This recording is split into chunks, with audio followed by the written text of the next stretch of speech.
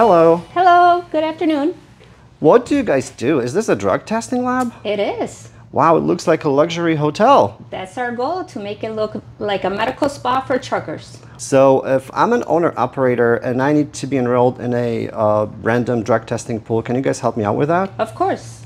What else? Uh, what kind of services do you guys provide? So once you're enrolled, we, we could help you with that. It's really easy. And then uh, we do the drug and alcohol testing here for you.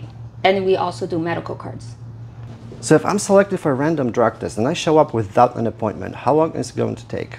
It will not take long. We appreciate your guys' time. We know that you guys are busy and you have loads to complete. So we will get you guys in and out. We are fully staffed and we have an amazing waiting area where we provide water, TVs, even a charging station.